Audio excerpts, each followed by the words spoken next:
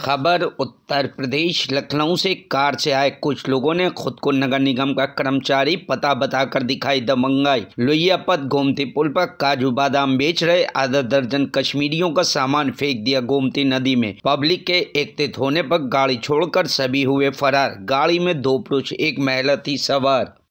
भाई क्या मामला हुआ आपके साथ? देखिए भाई हम यहाँ माल भेज रहे थे दस नब्बे पुल पर।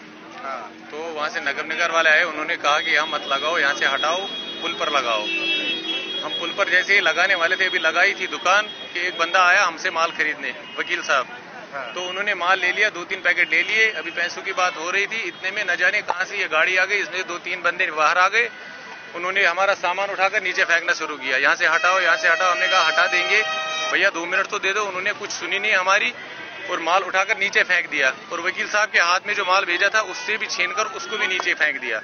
और फिर हमें गाली देने लगे। वकील साहब ने जैसे पूछा, गाली क्यों दे रहे हो? तो उनको भी गाली देने लगे। देखिए, अभी हमारे पास उनकी कोई आईडी वाईडी पता नहीं है क्या है, कुछ है, बट जो है वो यही गाड़ी है, यही गाड़ी से वो नीचे आए थे।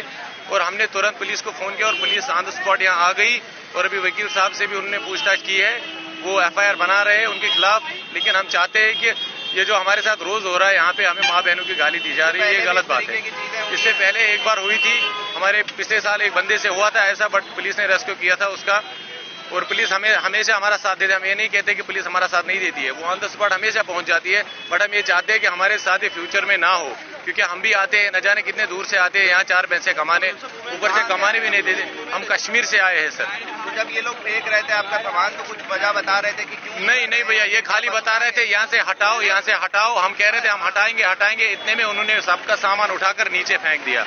और हमें उतना टाइम नहीं मिला कि हम अपना सामान उठा ले।